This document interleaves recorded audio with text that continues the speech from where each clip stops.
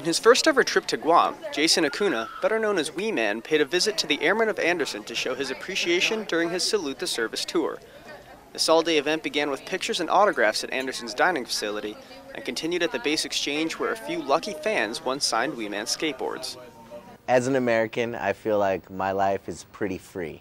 And for me to wake up every day and do whatever I want and in the back of the, my, my mind, not think of things that I have to worry about because I know we have troops all around the world doing what they do.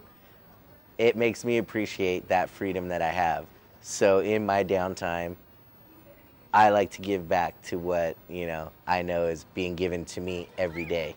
After a whole morning of sitting around and signing autographs, Wee Man decided to experience Guam heat firsthand and break a sweat at the Andersen Skate Park, where he put on a show for the fans. This is Guam skateboarding. Like this, this usually takes a couple hours in LA.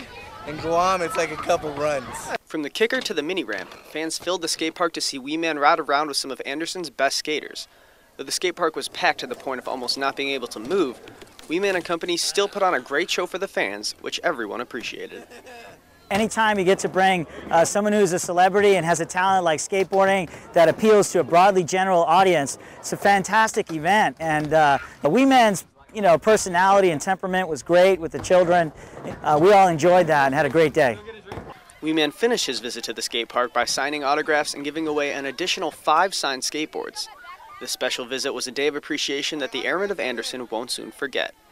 I just want to thank all the troops all around the world now I know there is protection everywhere, and uh, I just want to thank them for doing what they do, and we'll keep doing what we do to keep the troops excited.